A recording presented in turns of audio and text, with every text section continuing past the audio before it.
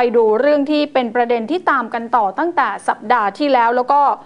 สัปดาห์นี้ทั้งสัปดาห์เนี่ยนะคะเป็นเรื่องของทั้งกรณีของทุนจีนเทาเนี่ยนะที่มาลงทุนผิดกฎหมายทำธุรกิจหลายอย่างที่ต้องเรียกได้ว่า เป็นการใช้ฐานที่ประเทศไทยเป็นฐานที่มั่นในการทำธุรกิจสีเทา แล้วก็มีการออกมาแฉกันเนี่ยนะคะ ล่าสุดทางผอบอตรก็เปิดเผยบอกว่าอยู่ระหว่างการตรวจสอบเส้นทางการเงินกลุ่มทุนจีนสีเทา หลังจากที่มีการบุกไปค้นคฤหาสน์หรูในย่านลำลูกกา แล้วก็ยืนยันนะคะว่า ได้หลักฐานที่เป็นประโยชน์ต่อรูปคดีค่ะ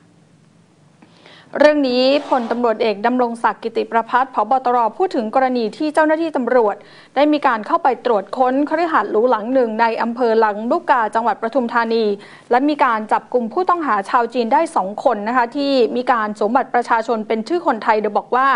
จากการตรวจค้นที่บ้านเนี่ยนะคะ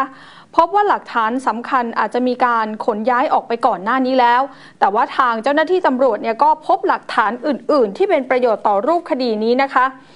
ส่วนเรื่องกรณีที่ดินเนี่ยจากการตรวจสอบเบื้องต้นก็พบว่าเจ้าของที่ดินก็คือนายทุนจีนที่ตกเป็นผู้ต้องหา รายละเอียดอยู่ระหว่างการสืบสวนสอบสวน รวมถึงกรณีที่ว่า จะมีความเชื่อมโยงกับเครือข่ายค้าอาวุธหรือไม่นั้น ก็ต้องรอการสืบสวนสอบสวนก่อน เนื่องจากบริษัทค้าอาวุธได้มีการปิดตัวไปแล้วค่ะนอกจากนี้พบตรก็ยังพูดถึงนะคะผู้ต้องหารายนี้บอกว่า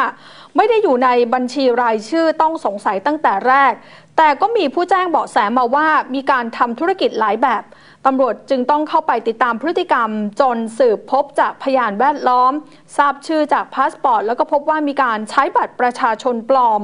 จึงมีการออกหมายจับแล้วก็ตรวจค้น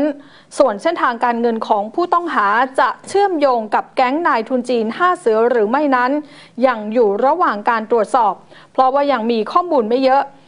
ส่วนที่ผู้ต้องหามีการขนย้ายสิ่งของออกไปก่อนที่จะเข้าตรวจคนนั้นก็ยังไม่ขอสรุปนะคะว่า จะมีผู้เข้าไปช่วยเหลือหรือว่ามีส่วนรู้เห็นหรือไม่ เพราะยังไม่อยากจะพาดพิงใคร ทางนี้ผู้ต้องหาทั้งสองคนที่จับกลุ่มได้เเมื่อวันที่ 10 พฤศจิกายนที่ผ่านมานะคะ ก็ได้ให้การเป็นประโยชน์ต่อรูปคดี ส่วนจะสาวถึงตัวการใหญ่ได้หรือไม่นั้นผบตรก็ยืนยันนะคะว่าตำรวจทำงานอย่างเต็มที่